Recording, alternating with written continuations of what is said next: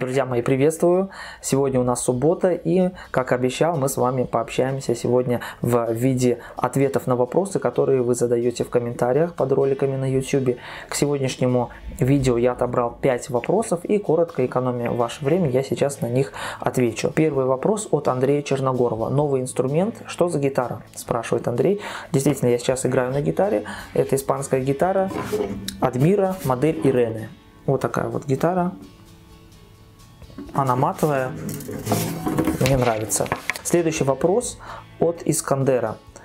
А, стоит ли ноты удерживать где-то технически возможно?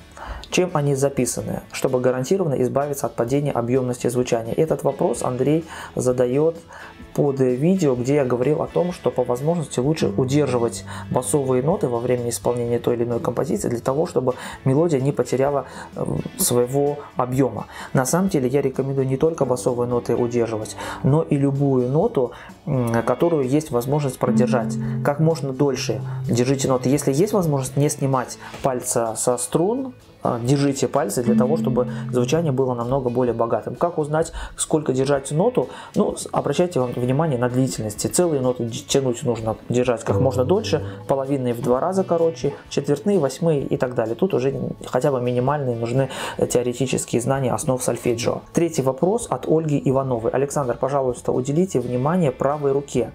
Плохо видно, когда каким пальцем дергать щипать.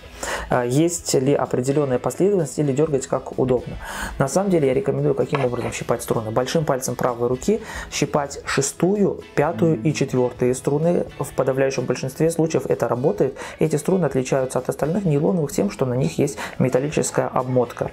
Третью, вторую и первую струны щипать в такой последовательности. По третьей струне указательным пальцем, по возможности, по второй струне средним пальцем, по первой струне безымянным пальцем. Но это работает не всегда. В арпеджио да. Как быть в тех случаях, когда вам нужно по одной и той же струне щипнуть сразу несколько нот подряд? Вот здесь ни в коем случае нельзя щипать одним и тем же пальцем.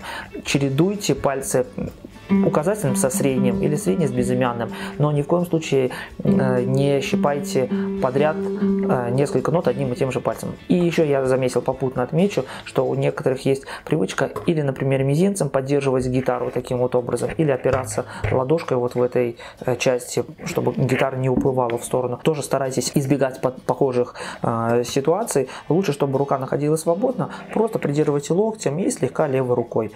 Тогда технически будет легче исполнять а, разные композиции. Двигаемся дальше. Четвертый вопрос от Александра Петренко. Расскажите, пожалуйста, как быть с акустической гитарой?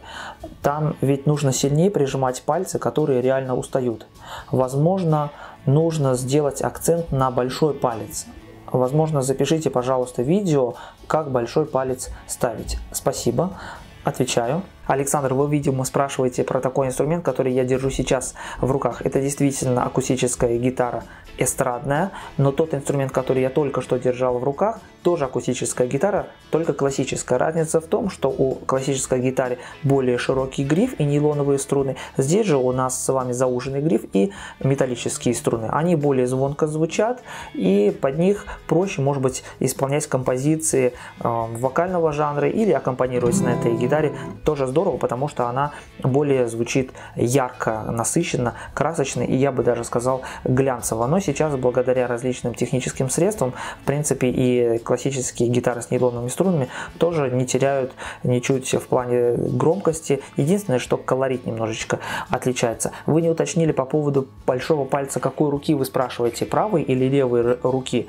В правой руке я особо большой разницы не вижу. Относительно левой руки, чтобы я рекомендовал, просто-напросто старайтесь слишком сильно, чтобы большой палец у вас не выглядывал над грифом гитары, потому что вы немножечко усложните себе задачу в плане перепрыгивания с позиции на позицию. А так, э, держите так, как вам удобно. Главное, чтобы ладошка сильно не прижималась к шейке грифа гитары и немножечко у вас было здесь место для амортизации, когда вы играете на гитаре и от одного аккорда прыгаете к другому аккорду.